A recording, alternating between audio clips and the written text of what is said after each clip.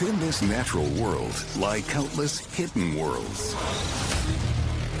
Worlds experienced through sensations, vibrations, and colors that not everyone can detect. Every animal perceives the world in its own way, and survival depends on reading the signs or relaying the signals. In every environment, nature has provided specialists. And among them are the Special Forces.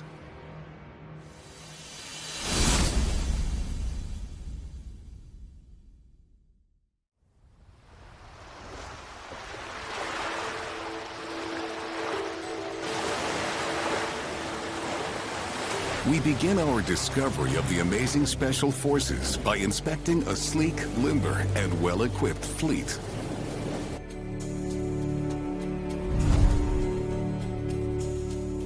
Patrol the waters off the Australian coast.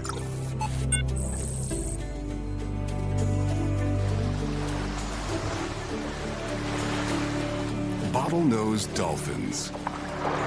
These four-meter-long submariners perform their maneuvers in relatively shallow waters, usually in pods of 5 to 20. Sometimes these mini fleets embark on hunting operations in river estuaries, but in these murky waters, it's difficult to see and get oriented. Which is why these specialists don't trust their eyes, but strongly rely on their hearing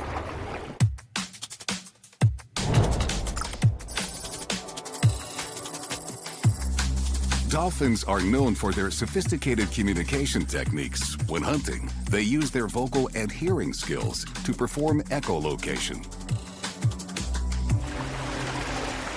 A dolphin does not have vocal cords. This communication specialist produces sounds by moving air through its nasal passages. Dolphins don't have a language, but they do have a wide vocabulary of whistles, trills, clicks, squeaks, and creaks. Each sound, pattern, and frequency carries a different meaning. Bottlenose dolphins can hear sounds almost as deep as we can, but in a high range they can hear much better than cats or dogs, well beyond our own ability. In most social communication, they use their lower range, but it's still much higher than we can hear.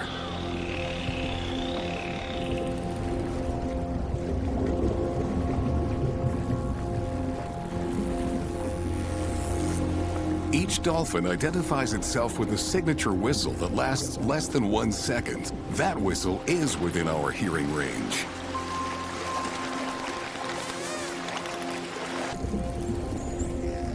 A mother dolphin can whistle to her calf almost continuously for several days after giving birth. This acoustic imprinting helps the cadet learn to identify his commanding officer, his mother. In about a month, he'll develop his own ID call.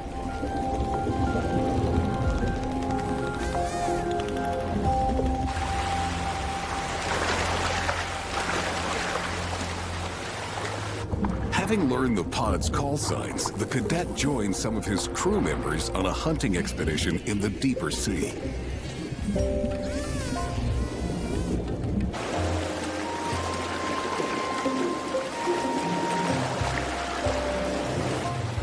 Communication helps the team coordinate their efforts to round up the maximum amount of fish with the least amount of effort.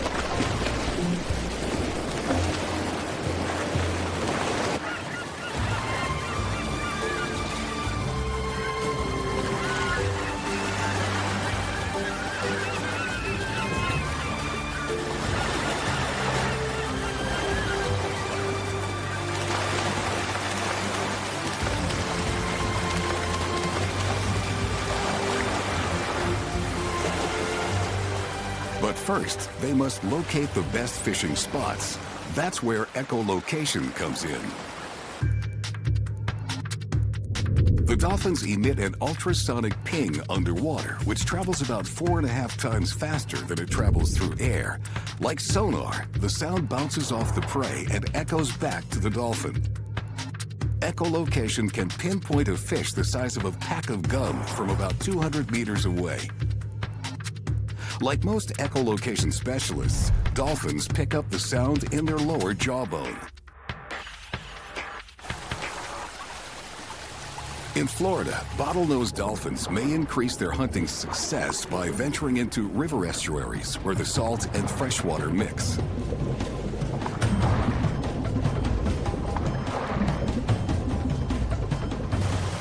Like sailors in a fog, they couldn't navigate the murky water here without echolocation.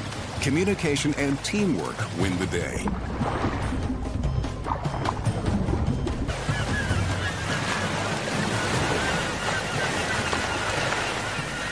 Three or more dolphins' coordinated strikes herd the slippery fish onto the shore where they can't escape.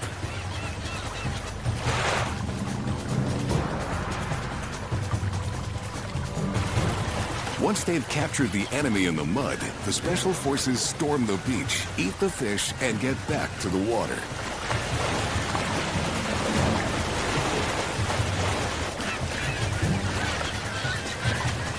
Such is the power of the bottlenose dolphin, a communication specialist that uses its skills to rally the troops for its well-coordinated search and destroy missions.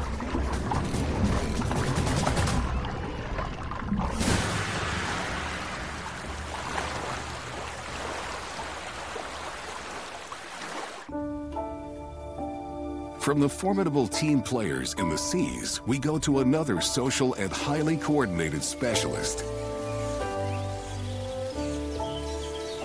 But this one has mastered the sky.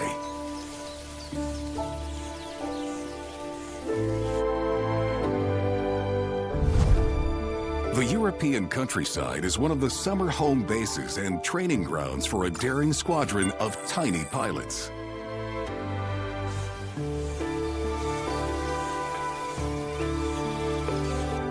Patrolling the skies and returning to the airfield is a barn swallow. These avian airmen are specialists when it comes to establishing beachheads and new bases. Whole squadrons of these small pilots crisscross thousands of kilometers twice a year in their migration.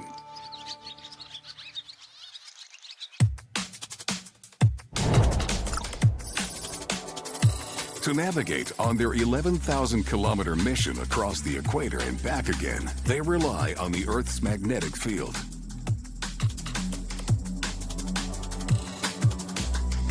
They make camp in Europe only during warm months when the insects are plentiful. As their name suggests, barn swallows usually construct their hangars in human buildings. Old barns are an ideal place to hatch the new recruits.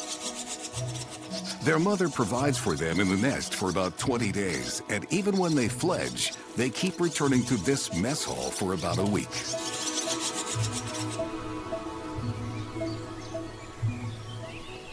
Barn swallows return to the same nest area, sometimes for generations. Like a homing beacon, the magnetic fingerprint of their base is imprinted on them so they know precisely where to go.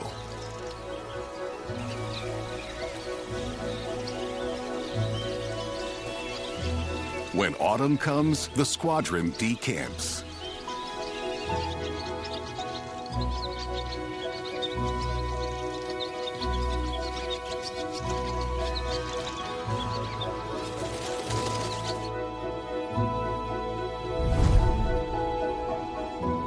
These European swallows usually migrate to southern Africa.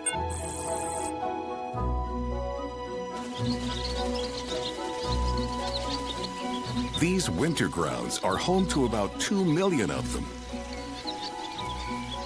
Swallows feed here and wait out the winter. They need to regain their strength for the treacherous return to Europe. But they won't get too comfortable. They're a mobile unit, and once the snow melts in their European air station, they'll need to return and breed.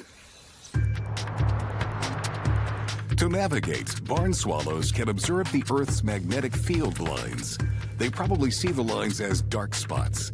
When they head north in spring, they see the magnetic lines above the horizon. In autumn, when migrating toward the equator, the lines appear below the horizon. Their compass information changes even when moving east or westward because they're able to perceive the angle or inclination of the magnetic field. These swallows are called back home from their winter base in Nigeria. They may have to travel around 5,000 kilometers to get there.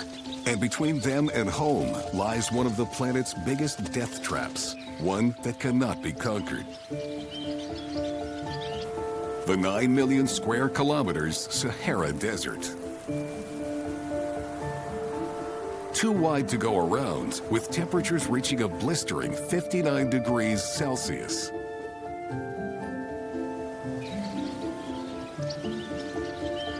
These swallows have traveled 2,500 kilometers since they started their journey. They need to refuel to continue. Thanks to their built-in compass, they know just where to go.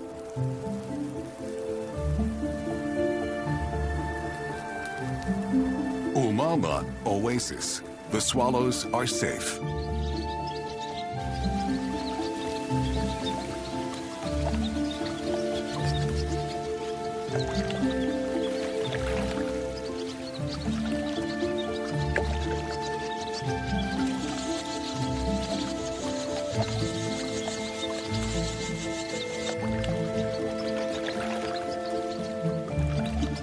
Squadron will be able to continue using their specialist navigation system to safely return to their summer base.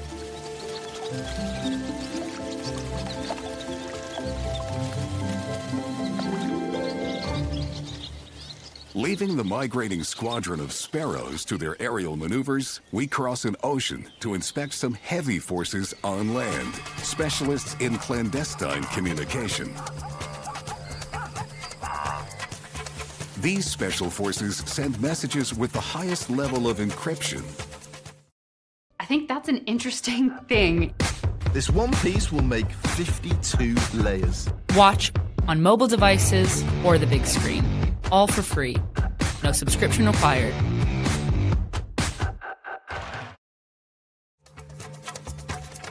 One of Africa's most recognizable ambassadors lives only in certain parts of the continent, and more rarely in parts of Asia.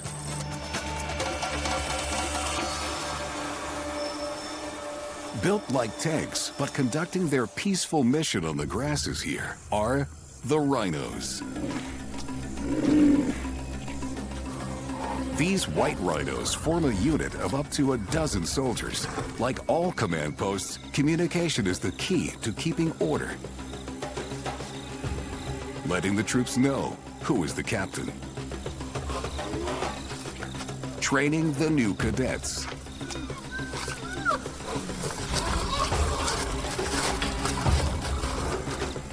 And moving up the chain of command.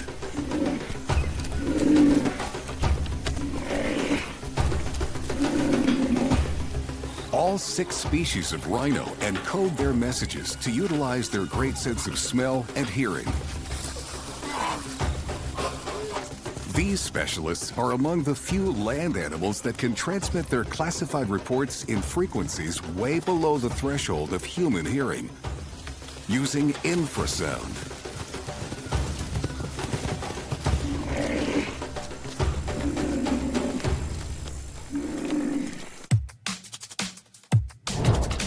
The benefit of infrasound is that the lower frequency sounds travel farther than higher frequency sounds.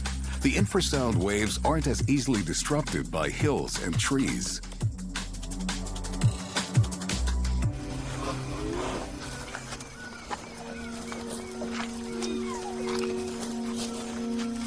And that means this male's getting the message he's been waiting for. The usually solitary adults fraternize only when they're on a diplomatic mission to mate. Females leave behind their usual scent to mark their presence. When it's time to reproduce, they use infrasound signaling to advertise their readiness.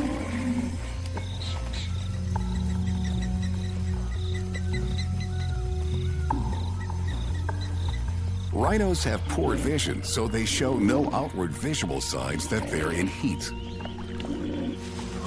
Once these special forces meet, the female will follow her chosen male, warning off other females by leaving scent marks. Then the pair follow the usual protocol to conduct their liaison.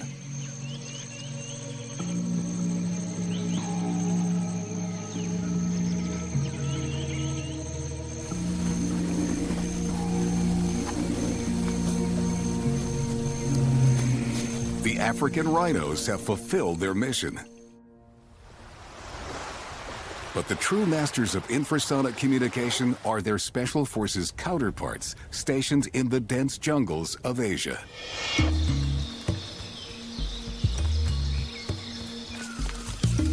There are fewer than 100 Sumatran rhinos, Dicerorhinus sumatrensis, left in the world. These specialists are the most solitary rhinos, very territorial with vast ranges, about 50 square kilometers for males and 15 for females.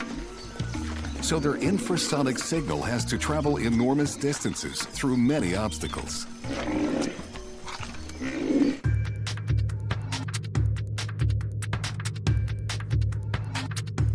Sumatran rhinos can produce 90 decibel whistles, about as loud as a nearby train whistle. But because the sound is in the infrasonic range, we can't hear it. Even so, the whistle, followed by a sharp burst of air, can carry for almost 20 kilometers across the forest to reach the ears of other rhinos.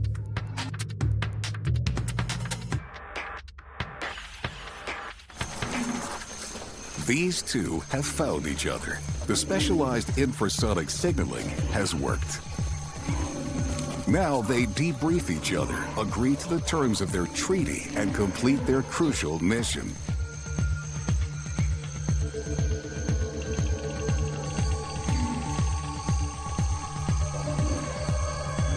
About a year later, the strategic alliance of these soldiers pays off. In the night, the mother gives birth to her calf. It's a momentous occasion. Sumatran rhinos have a single baby only every two to five years. Despite their great sensory equipment for romantic reconnaissance, Sumatran rhinos are dying out for lack of reproduction.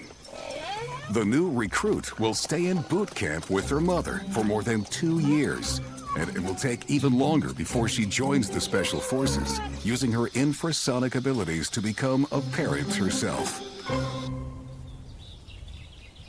Sumatran rhinos are peaceful herbivores, specialists in long-range communication to locate each other over great distances. Our next specialists are more interested in finding prey, and their method is both very sophisticated and extremely ancient. The waters near the African coast, along the sandy bottom, lives a Special Forces tracker skilled in locking onto his target.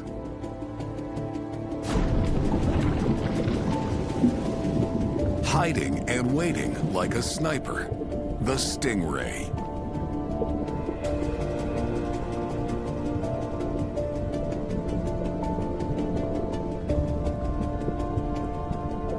With eyes on the top of her head and no way to see below, how does she hunt?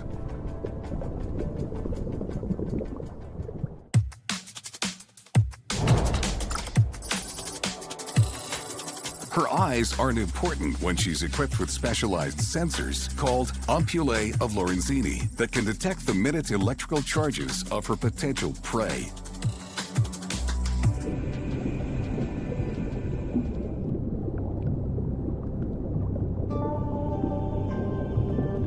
Shares this skill with her relative, the shark.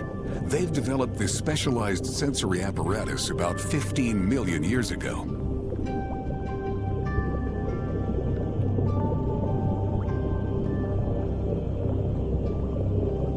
And this one is about to begin her feeding mission.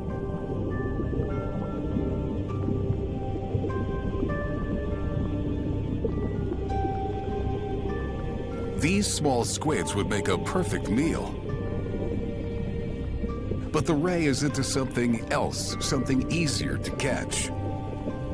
Their eggs.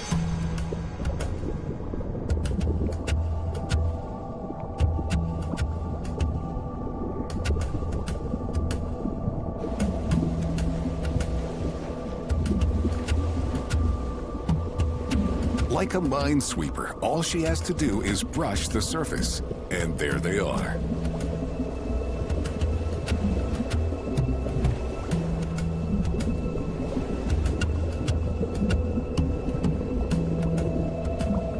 She zeroes in on the tiny electrical impulses they, like all living things, emit.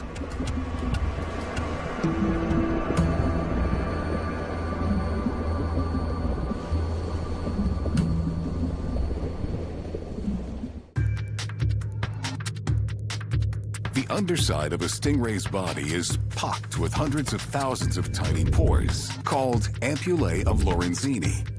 They connect to a long jelly-filled canal which contains a bundle of sensory cells. The ampullae allow rays to detect weak electrical fields emitted by muscle movements of their prey, even if they're hidden. The ampullae can also detect motion.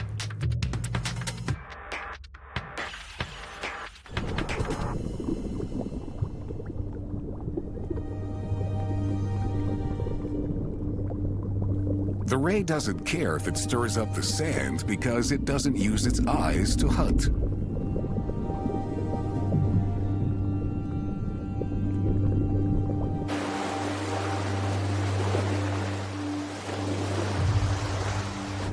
In the waters off Australia, a stingray has perfectly timed his raid on a busy outpost. Spider crabs are usually solitary, except when it's time to molt their shells.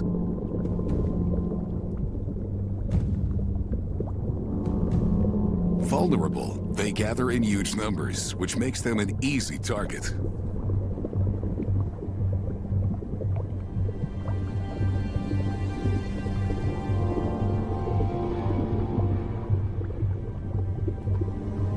Though the Ray has superior weaponry, he needs a strategy. He looks for the freshest molts with the softest armor.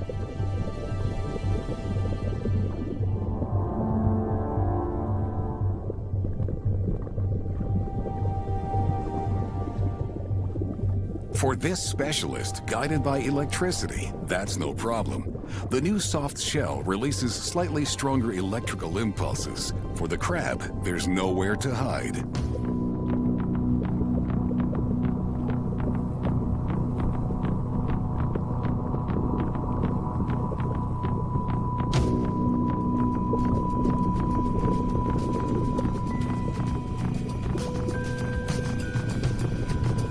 The ray sweeps the bottom until its receptors lock on for his search and destroy mission.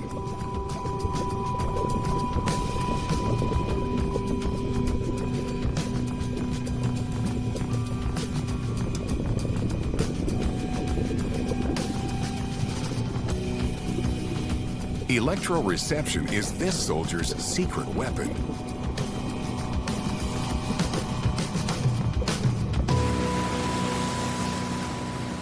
Electroreception works great for Marines like the Stingray, where the water is conductive.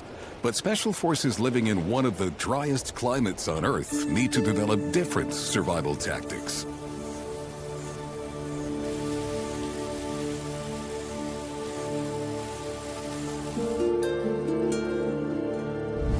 The edge of Africa's Namib Desert is a home to a well-trained regiment of trackers that works best when working together. Duties are divided, and a sentry is always on guard to protect the compound of meerkats. These small members of the mongoose family bet on numbers. An average clan can have about 20. While a few specialists keep a sharp eye out for predators, the rest busy themselves with foraging duties.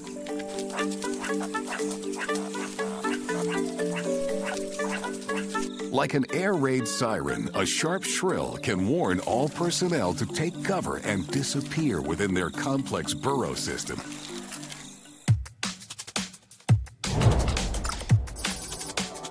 Meerkats are specialists with sharp vision and superb sense of smell. Those are what it takes to survive when you're stationed in a desert or semi-desert environment. Meerkats spend much of their time digging with their noses near the ground. They can smell prey hiding below the surface.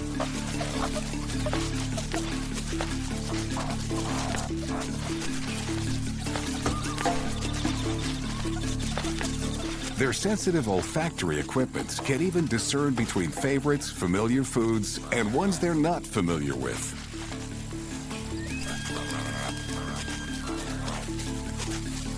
Victory! This soldier has flushed out a scorpion. The meerkat is immune to its venom, so he could eat it without a second thought.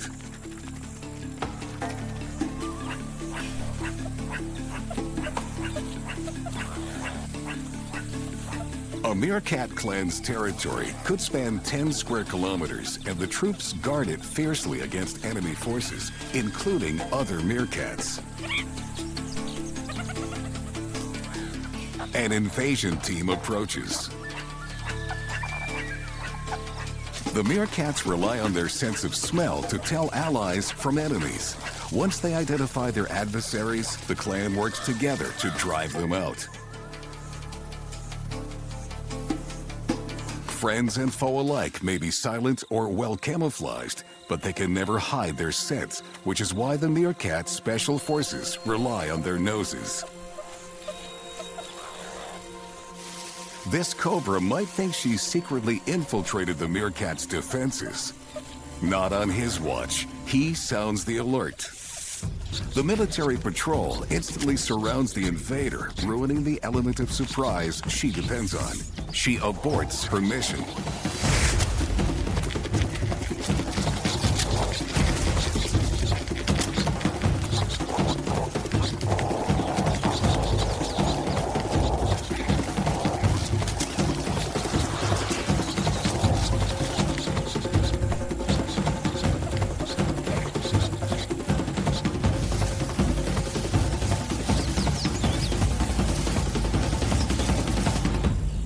The colony's biggest threats comes without a scent and without a sound.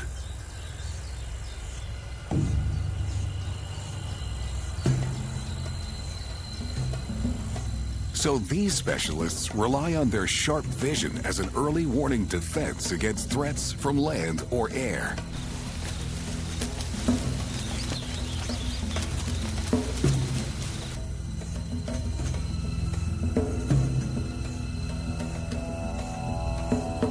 Dark patches around their eyes serve as natural sunglasses, essential in this sunlit environment.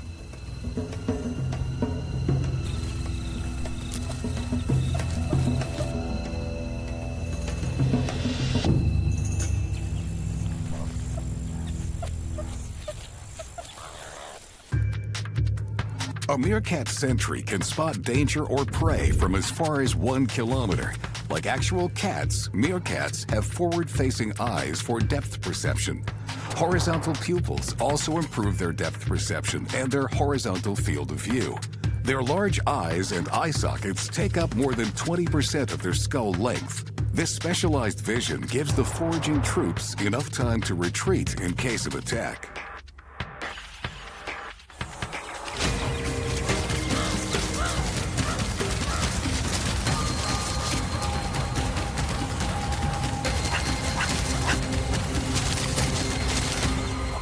Special forces are put to the test, retreating to their burrow with no casualties. Staying small and limber and working as a highly trained unit enables these specialists to prevail over their predators. Which is why the meerkats thrive as one of the Namib Desert's special forces.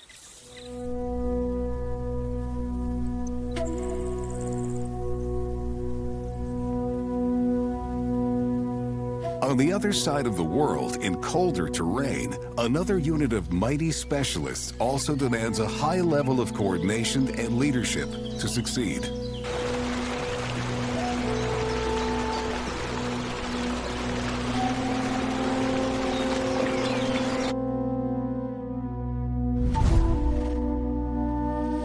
In the woods of North America live iconic predators, able to take down targets way bigger than themselves.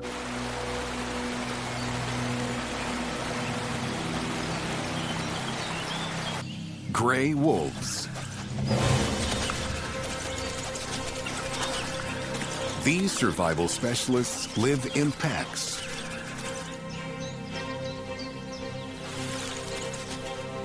An alpha pair of wolves leads each pack. They demand strict social order, which they enforce through constant communication.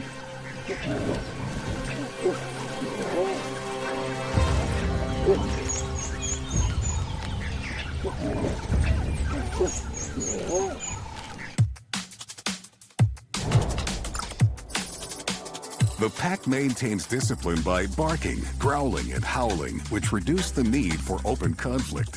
Vocal communication also works at a distance.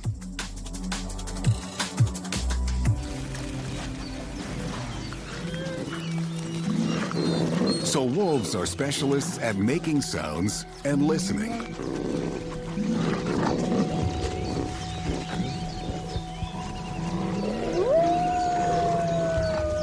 They call any time of day, but they're most active and vocal in the evening.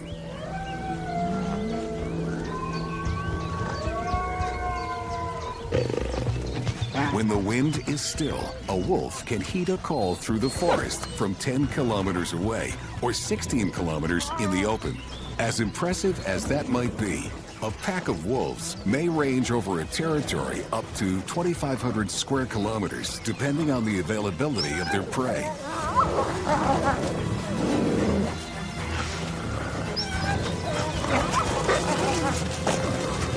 And what hearing and body language can't do, scent can. Wolves mark their territory with scats and urine to make a lasting impression on the area for anyone coming later. The scent lingers long after the howling fades. They can discern allies from enemies by the scent of the urine. This battle diary lets them know if the other wolves passed through this territory, if they were male or female, and how recently they visited. A wolf marks its territory with his scent print around every 100 meters. Specialized glands around the anus and near the base of its tail produce his signature scent. A wolf's specialized sense of smell is 100,000 times more sensitive than ours. They exhale through side slits in their nostrils, so the incoming scent doesn't get diluted. Their olfactory bulb, which recognizes smells, is three times larger than in humans.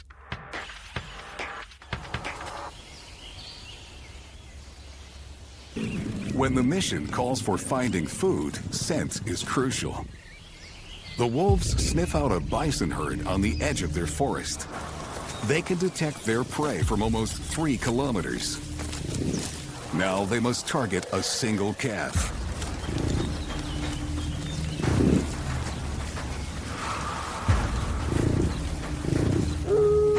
The chase begins. Working together, the wolves herd the buffaloes. They come from all sides, trying to separate the little one from the rest.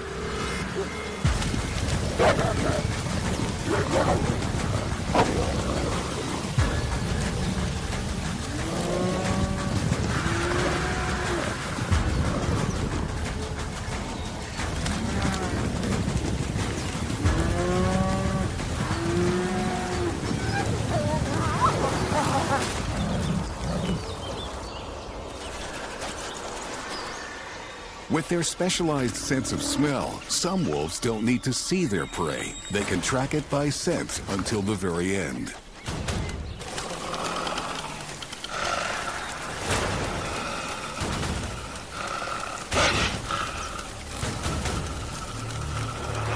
Such is the power of a wolf pack's incredible sensory talents and their tactical methods of communication that brings them success on the battlefield.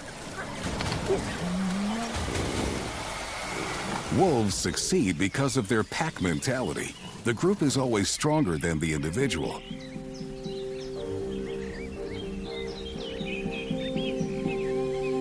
Nowhere is this more true than with our next Special Forces specialists. Their dedication to a common goal is among the strongest in the animal kingdom. From the moment they're born, these soldiers are enlisted, assigned a rank, and begin their service. The world's airspace is the domain of all kinds of insects. This particular Air Force patrols all but the coldest regions of the globe. Carefully attending to the local flora. Honeybees. Honeybees embody the idea of hive intelligence. The hive operates like a single living organism. To make it work, everyone's a specialist with a specific job to perform. A hive could have 30,000 or more crew members. Sterile female workers collect pollen to feed the colony. Male drones stay near the hive to protect it and build a new honeycomb. It's a tightly run operation, as disciplined as any military unit. But what goes on behind the scenes to keep the hive humming?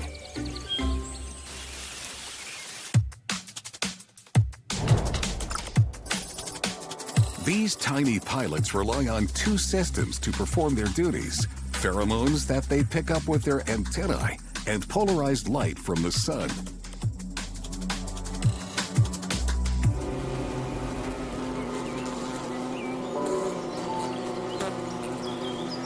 Pheromones are like orders that come directly from the general, in this case, the hive's only queen.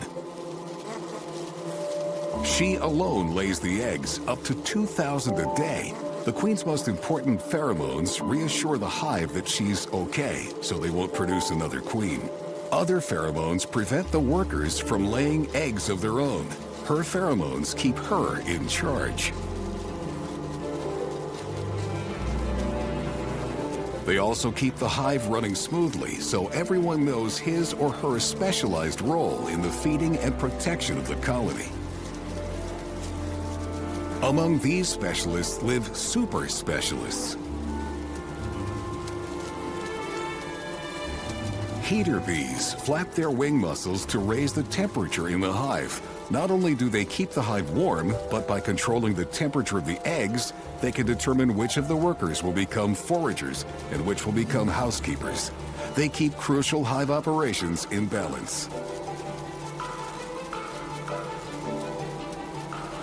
Every bee performs its duty perfectly because it's the job he or she was born to do. Every day, foraging worker bees fly reconnaissance missions to collect nectar and pollen. They may travel as far as 15 kilometers from the hive. Working on the front lines, they're lucky to live a month.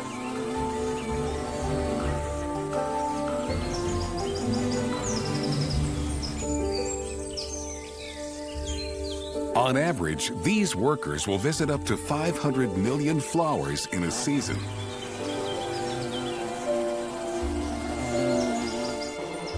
They navigate by reading polarized light on sunny days and on cloudy days, ultraviolet light.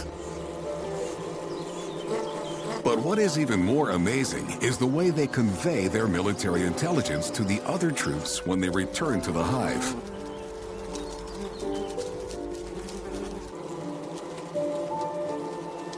They reveal the coordinates of the pollen source by doing a waggle dance.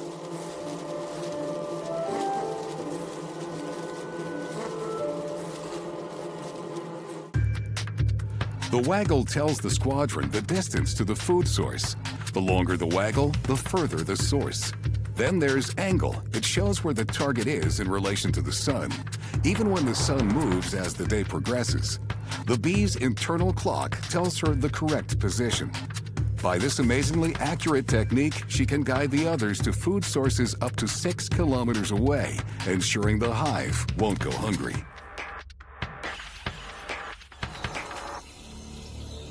Moving on to Africa, where the most ferocious of bees live, a hive is under siege.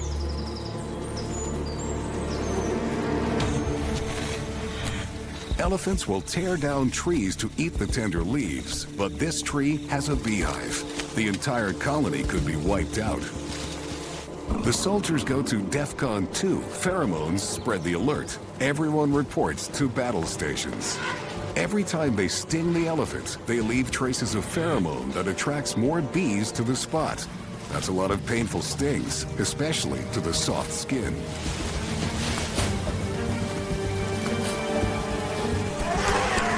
The bee's swift response repels the enemy.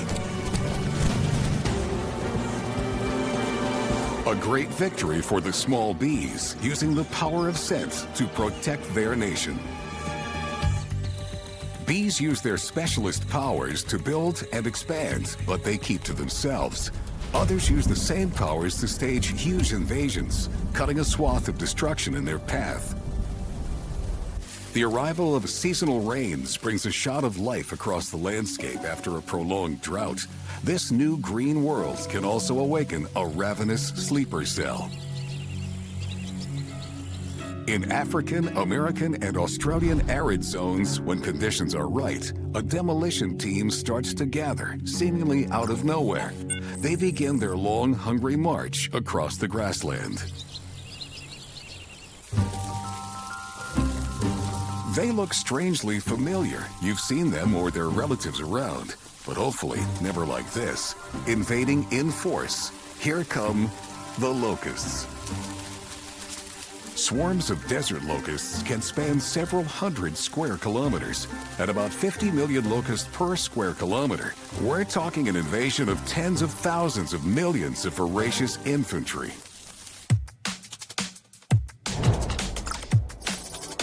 They navigate to the next battlefield by detecting polarized light.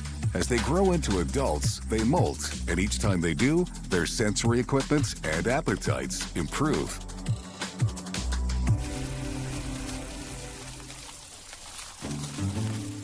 At this early stage in their campaign, they follow the smell of fresh, sprouting grass.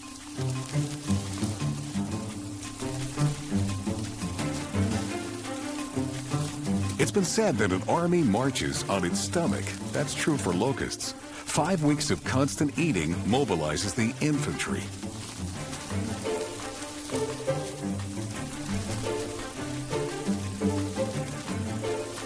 Each soldier munches the equivalent of its body weight every day. Once they reach adulthood, these special forces improve their battle readiness. The Locust Infantry goes airborne.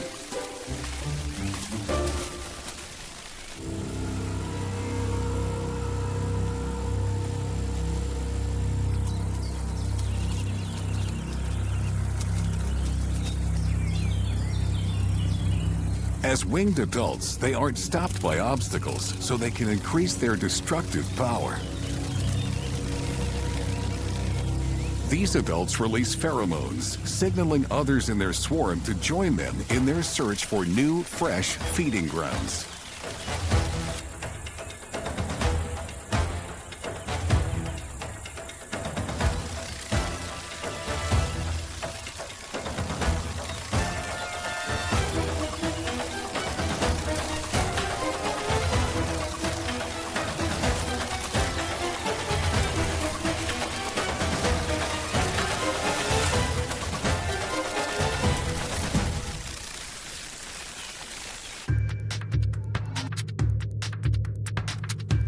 Desert locusts mostly use wind to travel great distances, they also read polarized sunlight.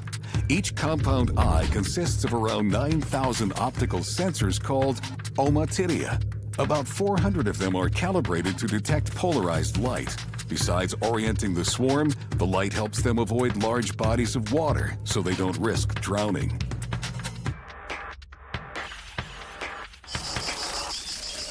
By following the wind, they always head to areas with low pressure, which means rain and fresh vegetation.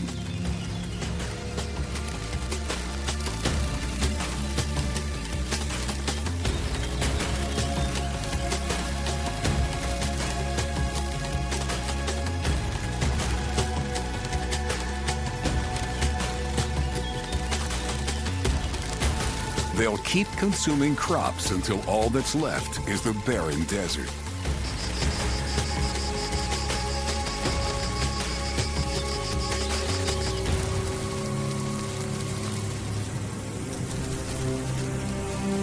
At the end of the season, they'll die, but a new generation will arise from eggs they've laid.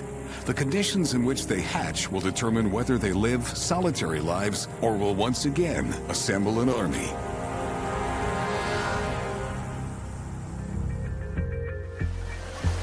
It seems that five senses would be enough, but nature proves over and over again that they're not.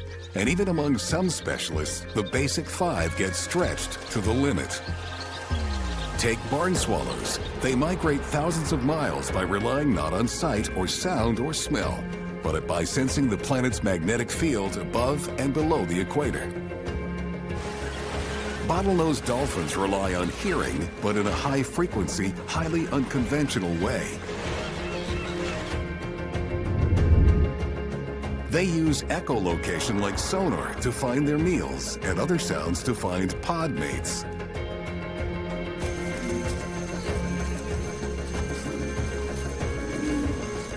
Rhinos also use sound, but where dolphins hear high notes, rhinos are specialists at transmitting low infrasound, like a secret message to a friendly agent.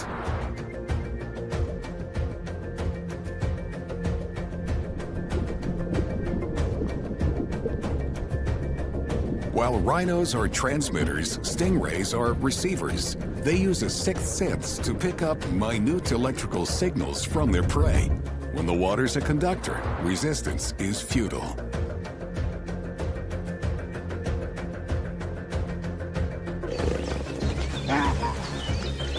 Wolf hunts more traditionally, relying on his remarkable sense of smell. To a wolf, the wilderness must be a kaleidoscope of ever-changing scents for him and his pack to explore and exploit.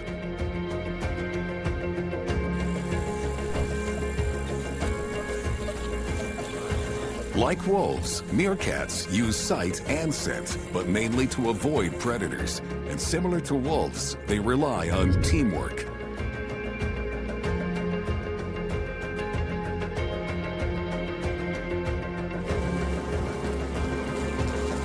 Bees live in a different world of chemical signals, in the pheromones that dictate their behavior. And to navigate, these special forces trust their eyes, not with anything we can see, but by reading polarized light.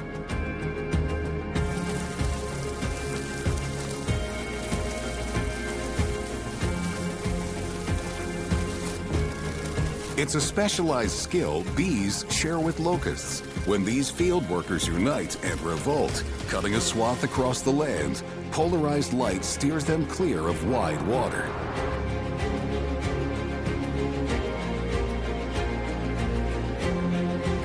These are the specialists, the special forces who have mastered their particular place in the world.